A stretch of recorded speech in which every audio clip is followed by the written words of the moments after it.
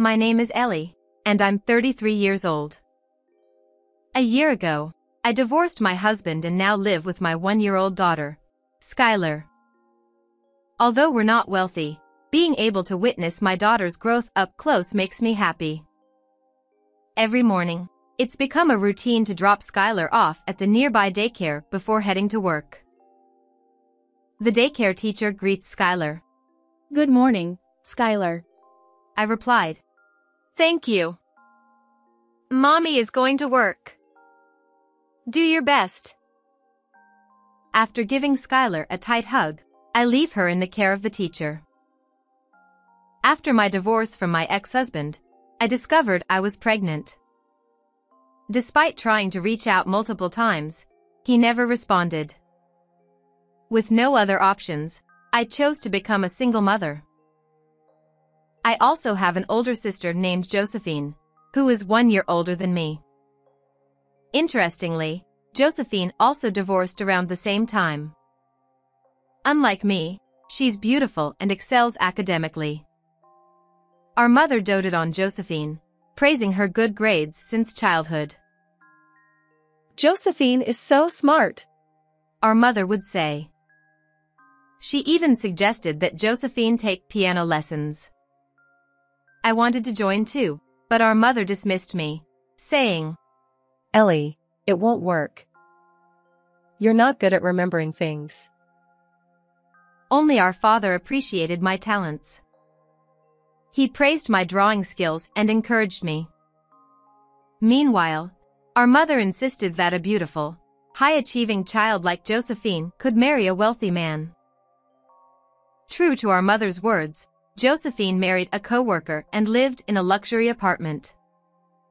However, her husband couldn't tolerate her spoiled behavior, and they divorced. One day, out of the blue, Josephine called me. We hadn't been in touch for a while, so I hesitantly answered. She said, Hi, it's Josephine. Long time no see. How are you? I replied. Josephine, it has been a while. I'm fine. What's going on? Josephine hesitated before asking. Could you do me a favor? Can you take care of my six-month-old daughter for a while? She's not as cute as me, cries a lot, and frankly, she's not adorable. I'm getting depressed, and I need a break. Listening to her, I realized Josephine had inherited our mother's personality. I firmly declined, explaining that I already had my hands full with my one-year-old daughter. And so, I hung up the phone, unable to help Josephine with her request. It happened two days later. During the day, the doorbell rang, and when I opened the door, there stood Josephine. I've brought my daughter Claire. There are diapers and a change of clothes inside. Please take care of her. Wait a minute. I told you I couldn't handle this. Please help your dear big sister. Just for two or three days. Please. As Claire, who had been sleeping, started crying, I couldn't refuse. I agreed to take care of her for a few days. Okay, just two or three days. Make sure to pick her up by evening. Thank you. This really helps. I promise I'll come back. With that, Josephine left without even looking at Claire's face. A few hours later, unable to find any milk as Claire continued crying even after a diaper change, I decided to take Skylar in my arms and go shopping with Claire in the stroller. Josephine's irresponsible nature hadn't changed since our childhood. Walking along the Twilight Street. How can she leave her daughter without milk? Unbelievable. The next day, I explained the situation to the daycare, and they agreed to take care of Claire as well. Taking care of two babies alone is tough. Don't worry. Despite the sudden situation, I was grateful for their understanding. However, three days passed, and a week went by, but Josephine didn't come to pick up Claire. No matter how many times I called, it went to voicemail, and there was no response to my messages. Eventually, the announcement said, the number is not in service. I was shocked and contacted my father, but he didn't know Josephine's whereabouts either. Josephine had disappeared after leaving her six-month-old daughter with me right after my divorce. I considered having my parents look after Claire temporarily, but given their age, it wasn't feasible. They agreed to provide financial assistance, and with the daycare's help, I continued caring for Claire. When I asked my father for Josephine's apartment address and spoke to the building manager, they informed me. She moved abroad a while ago due to her husband's job. It seemed she hadn't returned to the United States. How could she leave her child behind? I was speechless. I couldn't fathom Josephine's nerves. Wasn't she worried about Claire? I felt both contempt and anger toward Josephine as a person and a mother. Mommy, I'm hungry. Claire said. Skylar chimed in. I'm hungry too. All right, all right.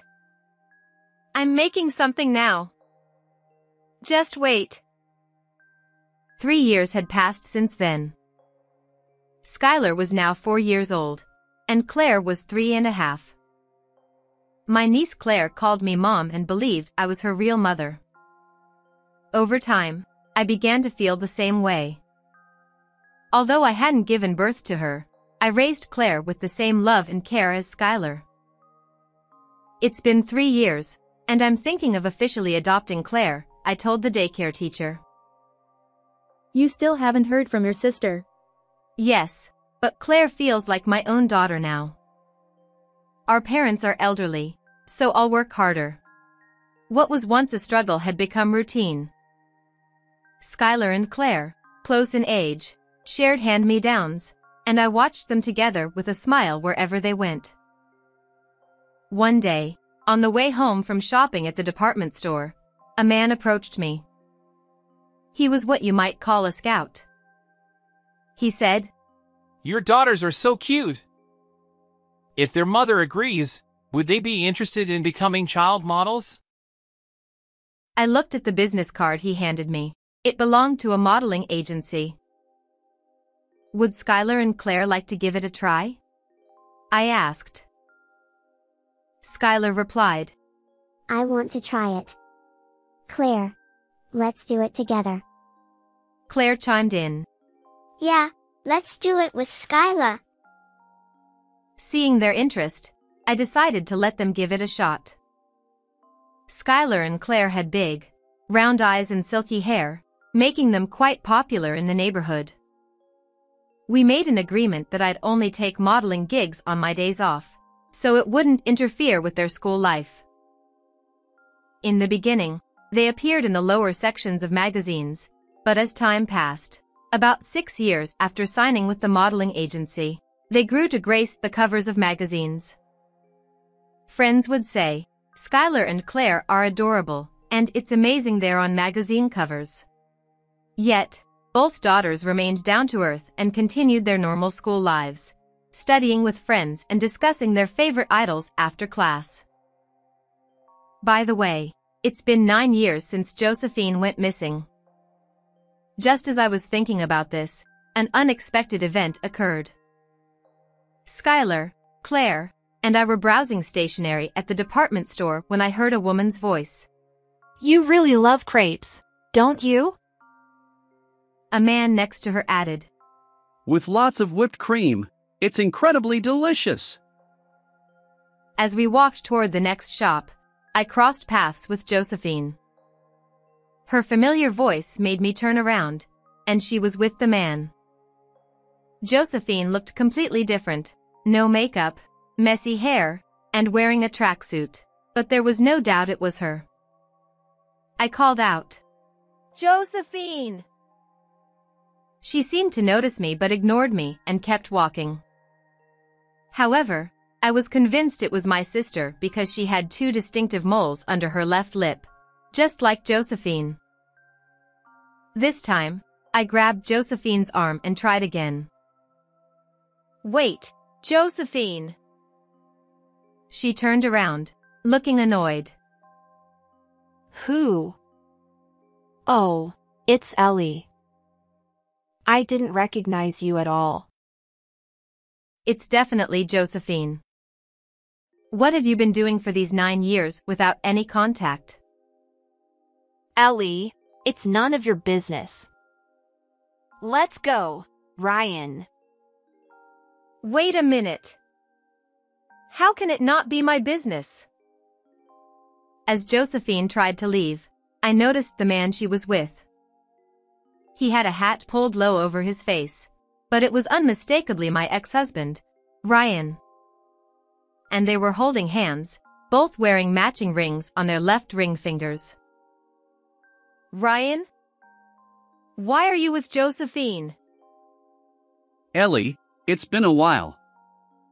Since the divorce, it's been nine years? Maybe ten? Ryan greeted me with a wry smile. Not only did Josephine and I accidentally reunite, but it turned out they had remarried. As I learned the shocking truth, Josephine grinned and said, Well, it seems I've been caught. By the way, how's that defective one doing?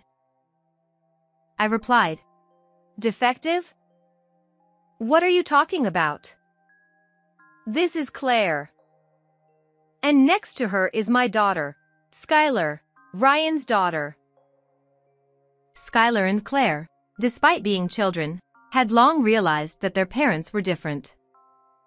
But they simply said, Mom is our real parent. seemingly unfazed by the lack of blood relation. When asked, I was initially taken aback, but seeing the two of them together made me realize that blood ties didn't matter. Josephine and Ryan were equally shocked by Skylar and Claire. Josephine exclaimed, Claire has transformed into such a beauty. She's stunning. Tall, stylish, just like me. Ryan stammered, Wait a minute. My daughter. What's going on? We didn't have any children, did we? I explained. I discovered the pregnancy after our divorce. I called several times, but you never answered. Now, we live happily together, regardless of blood ties. Josephine then pointed at Skylar and Claire, saying, Wait! Are these two the child model Skylar and Claire? Same names and everything! Excitedly, she picked up a magazine from the nearby bookstore, showing their cover photos. I was amazed. Claire has become so beautiful. Josephine said. Ryan added, I'm surprised too. Having such a gorgeous daughter. Josephine continued. So Ellie raised them all by herself? Impressive. But I was more concerned about Josephine's whereabouts during those years. I had called repeatedly and even visited her apartment, only to learn from the building manager that she had moved abroad. Even though Claire was just a baby, did Josephine ever consider her feelings? Nine years of leaving her with me, neglecting her own child, was unforgivable. Josephine defended herself. Ryan's successful business forced me to go overseas for money. Sometimes kids get in the way of our lives, you know? Back then, Claire was plain, noisy, and a burden. I couldn't fathom such thoughts toward one's own child. I squeezed Skylar and Claire's hands tightly. Josephine retorted, If Ellie insists, I'll take Claire back. Kudos for raising her as a single mother. Now, leave it to Ryan and me. Without remorse, she grabbed Claire's hand. But Claire pushed it away forcefully. Ouch! What are you doing? Josephine exclaimed. Claire held on to me, glaring at Josephine. Don't touch me. You're not my mother. My real mom is right here. Stop saying whatever you want. It was true. The last time Josephine saw Claire was when she was six months old. Since then, I have showered her with unconditional love every day. Suddenly appearing and claiming to be her mother was terrifying for Claire. Once I parted ways with Josephine and Ryan, I returned home. Claire asked, You won't give me to that lady we met earlier, right? Skylar and I won't be separated, will we? I reassured them. Both Skylar and Claire are my precious daughters. I'll never let anyone take you away. I love you so much. Hearing this, Skylar and Claire fell asleep feeling secure. However, from that day on, Josephine visited our home daily, insisting on taking Claire. When I asked Claire again about her preference, she expressed her desire to continue living with me and Skylar. When I honestly conveyed this to Josephine, she erupted in anger, shouting at our doorstep. A few days later, our parents expressed their desire to see their grandchildren. Skylar asked, Is Grandpa coming today? Claire exclaimed, Yay! I can't wait to see Grandpa. Since my mother had a difficult personality, it was natural for the girls to be closer to my father. As the time for our parents' arrival approached, I received a call. It was from the police. Josephine had ambushed Claire after school, attempting to force her into a car. Not only that, Ryan was there, trying to take Skylar as well. I informed the police that the culprits were my sister and ex-husband, and they escorted the two back home. Fortunately, Skylar and Claire were safe, thanks to the police's intervention. Facing Josephine and Ryan, my father shouted, What on earth are you adults doing? Do you realize how terrified the children were? Josephine retorted, Claire keeps saying she won't be my daughter, and it infuriates me. So, I had no choice but to take her by force. Ryan explained, I learned about Skylar's existence, and I wanted to be part of her life too. Josephine added, Besides, Claire is my biological daughter. What's the problem? My father responded, Exactly. You left her with Ellie for nine years without a single contact. Yet suddenly appearing and scaring the kids. Never again.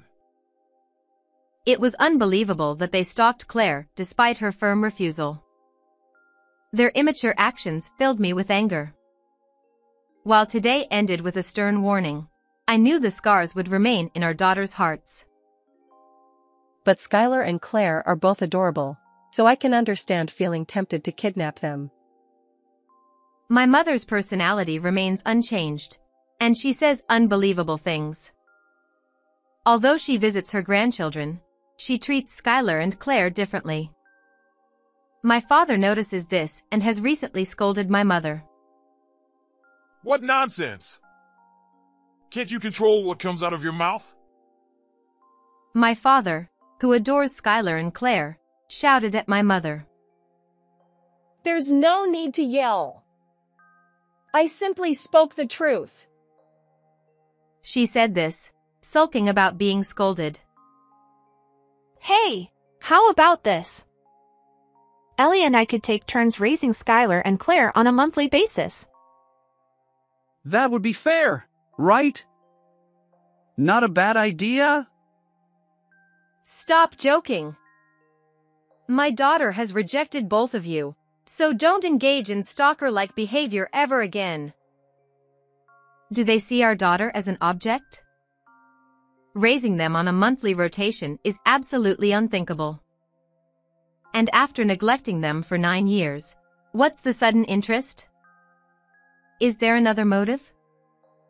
Honestly, if they truly cared about their daughter, they wouldn't let her go. By the way, Josephine. I couldn't ask before, but what happened nine years ago? Why did you leave me with Claire and go abroad without contacting me? Please tell me the reason. Josephine replied. Surely you've figured it out, haven't you? Ryan and I were deeply in love and wanted to be together. His company was thriving, making a lot of money. I had just divorced and gained custody of Claire, but being a single parent was exhausting. The stress was overwhelming, and I found having a child tiresome. If Claire had been cute, maybe I could have endured it, but she was plain back then. I couldn't bear the shame of having an unattractive daughter. As the daughter of a CEO, it made no sense to keep an unattractive child around. What? You abandoned Claire for such a reason? You carried her in your womb with care, didn't you? Don't you have any maternal instincts? Josephine replied. None. Children are just dress-up dolls for parents. Oh, but if the child is beautiful, she can marry a wealthy person, and then the parents will be taken care of, ensuring a secure future. My mother chimed in. Exactly. Being born beautiful is the best thing for a woman. It's truly a story that would leave anyone incredulous. The idea that being a single parent is exhausting and stressful, or that beauty guarantees financial security, is absurd. What about the responsibility toward the child you brought into the world? Children are not tools for parents' convenience. And my mother, echoing Josephine's sentiments, is equally unforgivable. It's your fault too, Mom. Spoiling Josephine led to this. Even at this age, you can't take responsibility for your child's life. Living selfishly, equating beauty with wealth, aren't you ashamed as adults? And this situation is a serious crime. Do you not feel the weight of your actions? Josephine added. Ryan and I just wanted to talk to our daughter. My mother dismissed it, saying, Claire and Skylar are not injured, so it's fine. Neither Josephine nor Ryan has shown any remorse for leaving Claire behind nine years ago or attempting to kidnap my daughters. Even my mother, who condones their behavior, lacks any sense of remorse. Nine years ago, I was bewildered, but now I firmly believe that leaving Claire in our care was the right decision. Understood. Josephine and Ryan, remember that we'll take this to court. I replied. I've always known that my mother and Josephine are eccentric individuals. When I was young, I thought it was fine if I got hurt. But sacrificing their own child for happiness? Unacceptable. Despite the fear my daughters experienced, they show no remorse. Both Josephine, the monster my mother created, and my mother, along with Ryan, should face consequences. Ryan, let's talk about this. You were having an affair with Josephine even before our divorce, right? Ryan retorted. What are you talking about? I got close to Josephine after my divorce from Ellie. I pulled out my phone and showed them photos and videos of Josephine and Ryan entering a hotel together, holding hands and kissing on the street. The dates were before our divorce, leaving no room for denial. Ryan stammered. What is this? I snapped back. This is evidence of your affair with Josephine. Just before our divorce was finalized, I noticed Ryan acting strangely, so I followed him. That's when I discovered he was meeting Josephine. I secretly recorded their interactions for future reference. Did you think I knew nothing? I've been aware of your affair with Josephine from the start. Even after our divorce, I found you both several times. When I called repeatedly during my pregnancy, Josephine told you to ignore my calls. And now you suddenly want to live with Skylar? Unbelievable. Ryan mumbled. I regret what happened this time. But Josephine was persistent. Josephine interjected. What? So you're blaming your affair on my persistence? When confronted with evidence of his infidelity, Ryan denied responsibility, claiming Josephine's persistence was the cause. Josephine, furious, wouldn't let it slide. There's more. After Josephine and Ryan coincidentally met us at the department store, they distributed flyers around the neighborhood, spreading false rumors about me and my daughters. Our longtime neighbors, who know my character, were concerned and investigated. Josephine and Ryan were behind those flyers. Josephine protested. I didn't do that. Where's the proof? Ryan chimed in. I didn't do it either. Stop making baseless accusations. I showed them a video sent by a mom friend. It clearly captured Josephine and Ryan distributing the flyers. If bad rumors get out, Ellie won't be able to be with her kids. And then we could get custody. Their conversation, discussing how tarnishing my reputation might affect custody, was also recorded. Upon seeing this, Josephine seemed to realize the situation was hopeless and took a different approach. Ugh, enough. Honestly, I still don't want kids. But Skylar and Claire can bring in money, right? With their beauty, it wouldn't be embarrassing to have them around. She declared. Ryan interjected. Hey, idiot. Why would you say that? Josephine retorted. It's the truth. Besides, we share the same bloodline. What's wrong with parents being with their daughters? Ryan argued. But Josephine, you're the one who planned this whole thing. Josephine exposed the truth, and Ryan tried to absolve himself by blaming her for the plan. So that's what it was. A scheme to take Skylar and Claire, turn them into models overseas, and profit from it. These two, lacking both maternal and paternal instincts, couldn't genuinely want to take care of the children. You're both equally guilty. Who planned what doesn't matter? My patience had long worn thin, and just as I was about to attack them, my father intervened. Enough! Both of you, what have you become? His anger reached its peak as he pointed at Josephine and Ryan, shouting.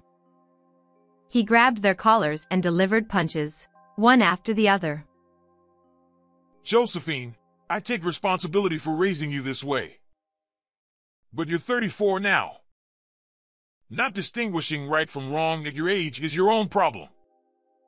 And Ryan, I regret marrying you to Ellie.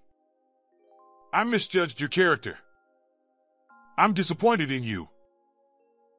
Josephine and Ryan, bloodied and sprawled on their backs, had been knocked down by my father's blows. His trembling hands and slumped posture revealed the extent of his anger. Josephine, I sever our parent-child bond. And you, we're getting divorced.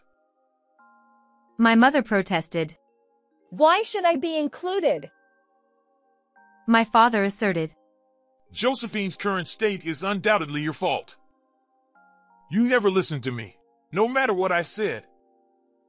And yet, you casually talk about wanting beautiful grandchildren. I've had enough of both you and Josephine. Ellie endured so much until now. I'm sorry.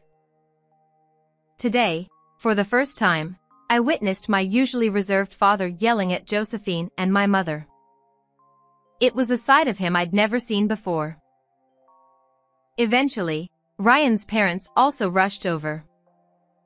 Before Josephine and Ryan were brought here, I had informed Ryan's parents of the situation over the phone. Ellie, we are deeply sorry for Ryan's actions. We apologize for the great inconvenience and worry we have caused. Ryan's parents apologized deeply to me and my parents. No, the ones at fault are Josephine and Ryan. I will be suing Josephine for abandoning her child for nine years, stalking, defamation against me, and for the damages caused by her affair with Ryan. Wait a minute! I don't have that kind of money. Ignoring Josephine's words, I continued.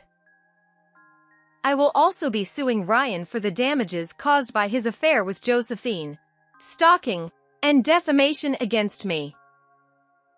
It was all Josephine's plan. I just followed her instructions. At this point, Ryan's father punched him. From today, Josephine is no longer my daughter. I will not help you anymore. No! Dad, that's cruel. Think about what you've done.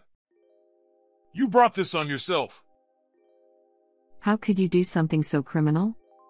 Do you realize how scared the children were?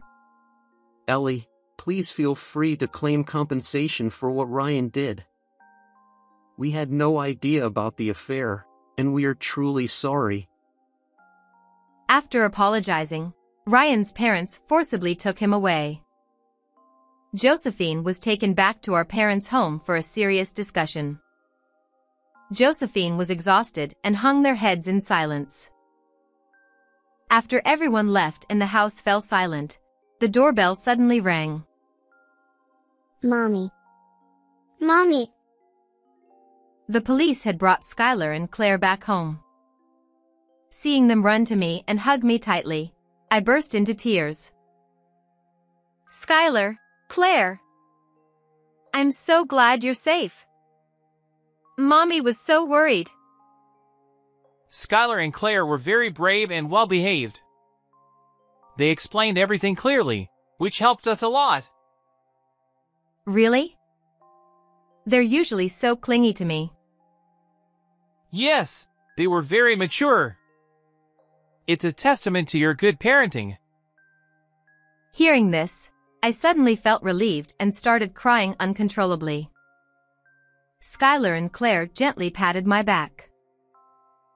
We'll increase patrols for a while. If anything happens, let us know immediately. The officer left, advising me not to overdo it. Mom, are you okay, eh? Skylar and I are here for you. We hugged each other tightly, finally feeling at ease. The following weeks were hectic, but eventually, life returned to normal. Later, I spoke with the police again and hired a lawyer to sue Josephine and Ryan. Although I thought they might have reflected on their actions, I requested protection for Skylar and Claire for a few days.